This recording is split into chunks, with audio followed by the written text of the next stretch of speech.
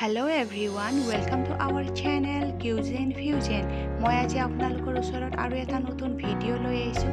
আজিৰ এই ভিডিঅ'টোত মই কচুলতি আৰু কঁঠাল গুটিৰ এটা টেষ্টি ৰেচিপি লৈ আহিছোঁ। আশা কৰোঁ আপোনালোকে চাই ভাল পাব। আহকচোন তেন্তে আজিৰ এই ভিডিঅ'টো আৰম্ভ কৰোঁ।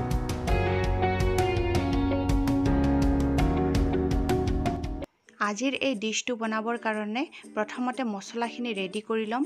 সৰিয়হ নহৰু আদা আৰু কেঁচা জলকীয়া পিচি ল'ম। গোটেই মছলাখিনি পিচি লোৱা হৈ গৈছে। কচু লতিখিনিকো বাছি চাফা কৰি ল'লোঁ আৰু লগতে কঁঠাল গুটিকেইটাকো কাটি লৈছোঁ।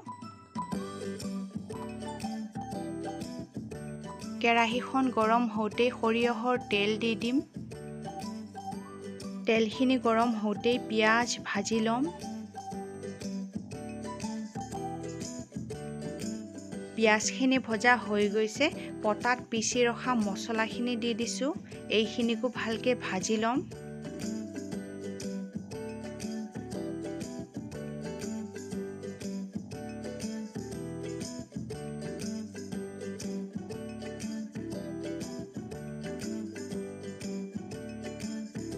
সোৱাদ অনুসৰি নিমখ আৰু হালধি।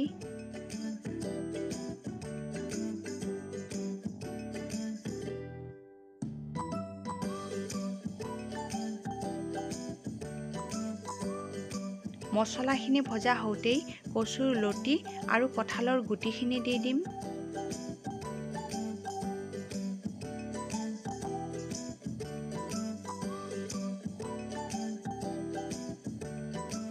দহ মিনিটৰ কাৰণে ঢাকনখন লগাই সিজিবলৈ দিম।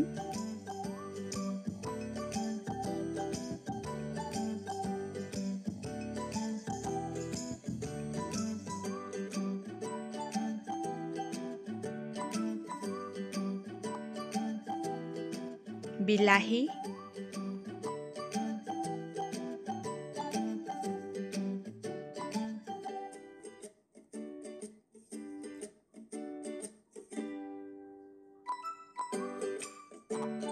গৰম পানী।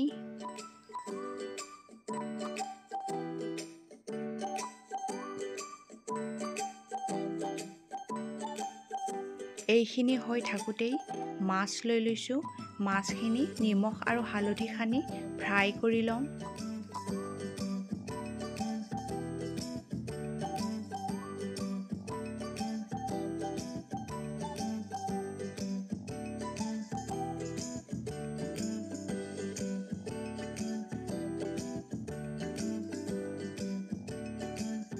মাছখিনি ফ্ৰাই কৰা হৈ গৈছে।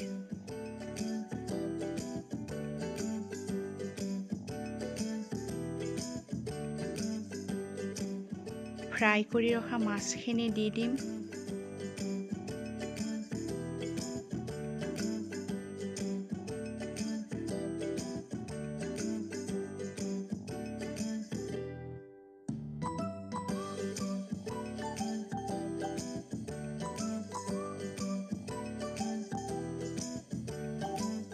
শেষত এইখিনি টেঙামৰা পাত দি দিছোঁ।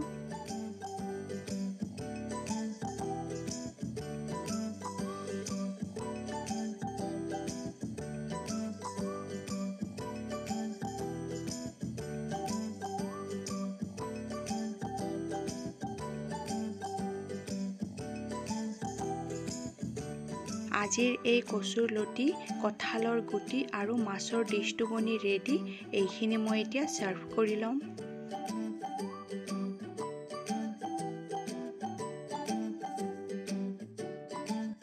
আজিৰ মোৰ এই ৰেচিপি ভিডিঅ'টো চাই যদি আপোনালোকৰ ভাল লাগিল তেন্তে লাইক কৰি দিব শ্বেয়াৰ কৰি দিব আৰু মোৰ এই চেনেলটো ছাবস্ক্ৰাইব কৰিবলৈ নাপাহৰিব।